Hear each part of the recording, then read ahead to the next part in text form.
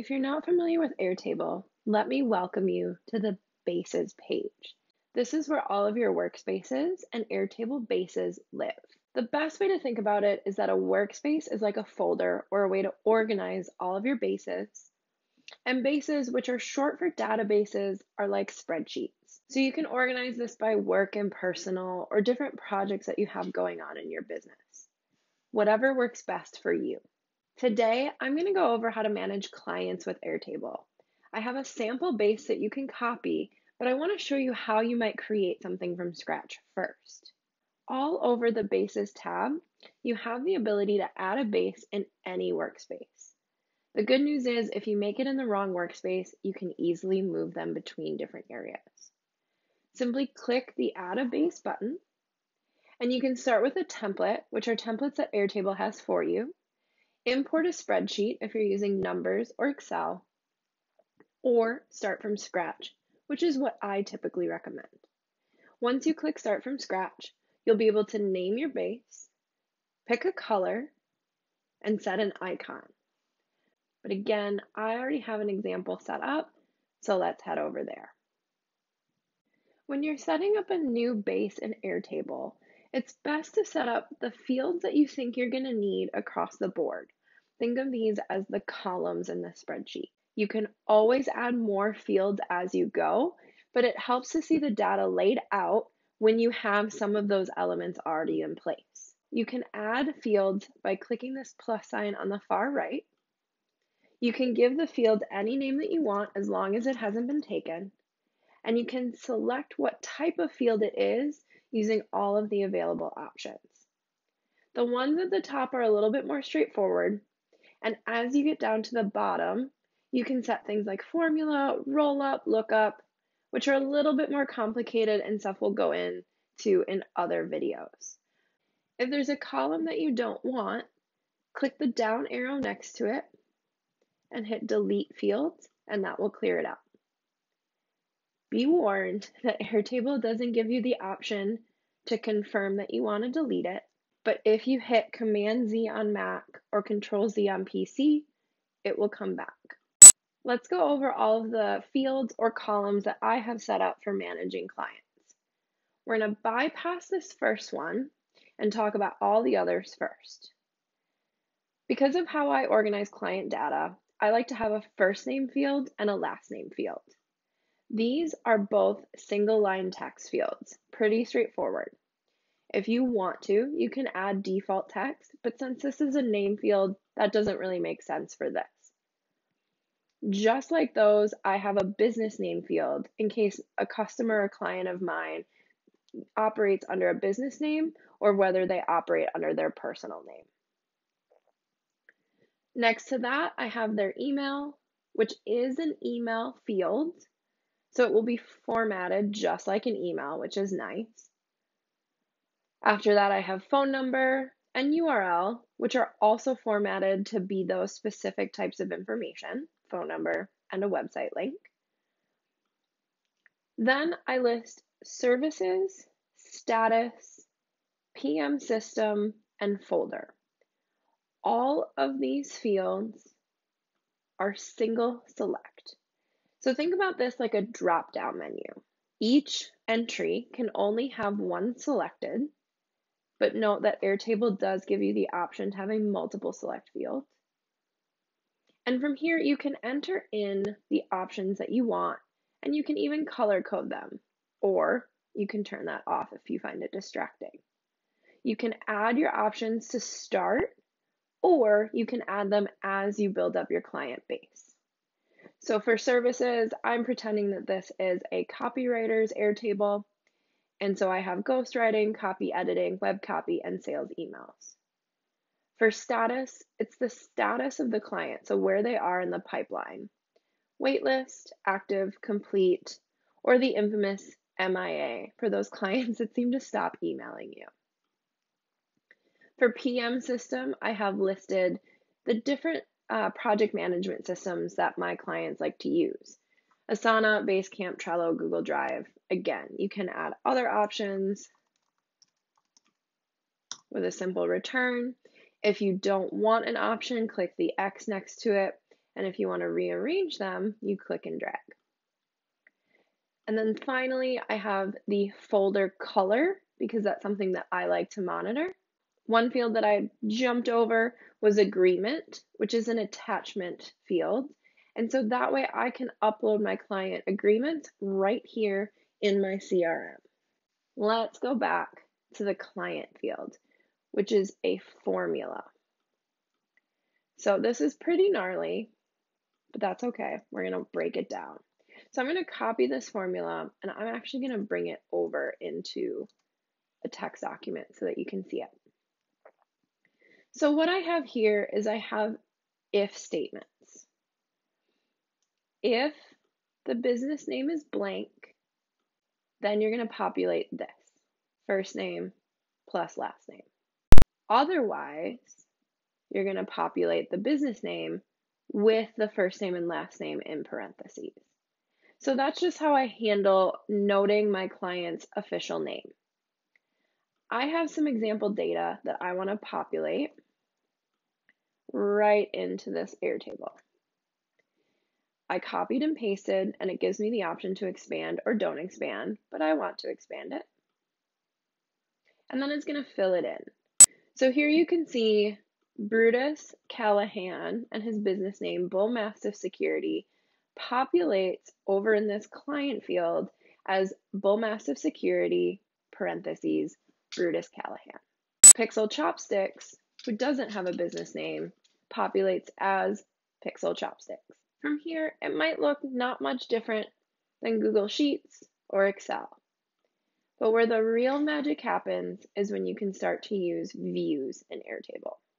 Whenever I make a base in Airtable, I always leave a view that looks just like this, where I can see all of my information laid out just like an Excel spreadsheet or a Google Sheets. But then I start to customize it by creating views that really break the information down into useful and very visual layouts. The nice thing about Airtable is that they have a bunch of different views that you can use. So let's head over to this view that I've created called Client Progress. So what happened is I created a new view and I decided to order it by the status. What that does is it groups clients by waitlist, active, complete, or MIA. And then I can move them through the process by clicking and dragging. And Airtable will automatically update their status from waitlist to active to complete, hopefully never MIA, but shit happens. Then I have it sorted by services so that when I'm looking at my active clients, I know how many ghostwriting clients I have versus copy editing clients. If this feels like too many ghostwriting clients, then I know that I need to complete one of them or any new ghostwriting request must be waitlisted. You can view as much or as little information on these cards as you want. So if you wanted to view emails and URLs and the PM system that you use, you simply check all of those items and there they go. But if we hop over to client waitlist, that's a better use of the filter view. So in this view, I'm using one filter and it's that status is waitlist. So Airtable is showing me only my waitlisted clients so that I can see them laid out. I can see how many clients that I have and the necessary information. The other thing to note is I've hidden fields in this view. Specifically, I've hidden the first name, last name, and business name because the client field has all of that information for me. And then I've also hidden the status and the agreement because this is filtering in waitlist clients only. I don't need to know the status. They are a waitlist client. And the agreement, if I toggle that to show you, let's drop a file right in there. The agreement is just this tiny, tiny little thumbnail that doesn't really help us. So I tend to hide that because I'm not going to get much data out of that in this view. But let's say I did want to get more information. I'm going to click these arrows to expand the record for Pixel Chopsticks. And then from here, I can expand the hidden fields. If I added a name, here's the agreement. I can click on it to view it a little bit larger. I can download it, I can trash it, whatever I need to do.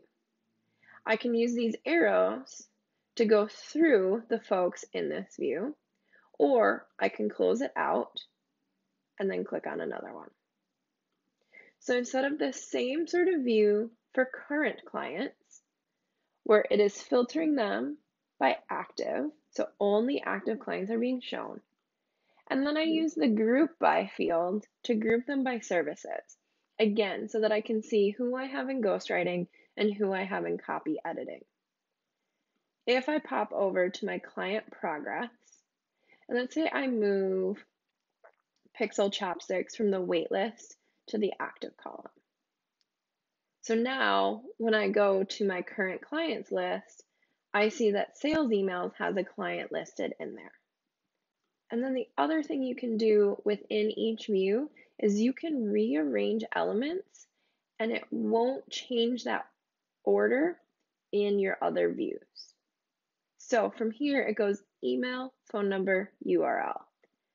But if I pop over to current clients, it's phone number, URL, email.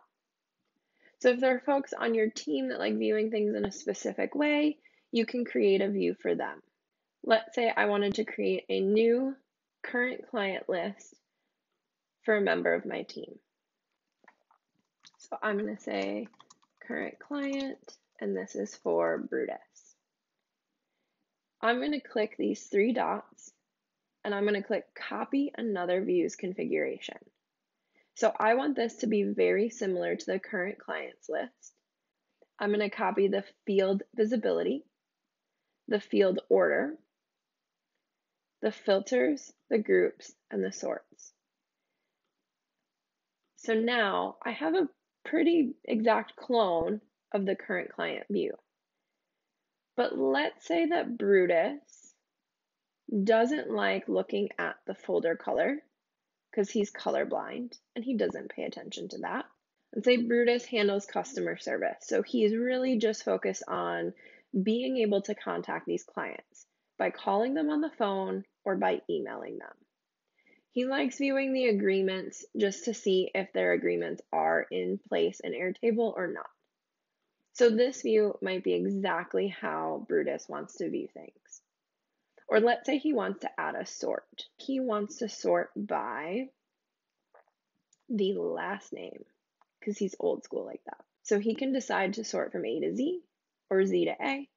And he can choose to sort once and leave it or to keep them sorted as new information is added. You can add fields in different views. So let's say Brutus wanted to add a field of may email. That's a checkbox so that he knows he emailed these clients to check in. So he checked in with Velcro Doggo, he checked in with Pixel Chopsticks, and he's checked in with Wally Nuggets. So now he has that information if you pop over to my view of current clients, that field is automatically hidden because it wasn't created in this view. So if you want to use this sample Airtable, I have a link below that you can click and you can copy over. You can change any or all of these columns. Remember, Airtable notes them as fields. And start utilizing this to keep track of your client. We're going to add some tabs for tracking tasks and projects and other information related to clients. But for now, start filling out your clients, your services, possibly statuses of the process, and any sort of information that's specific to how you work with your clients.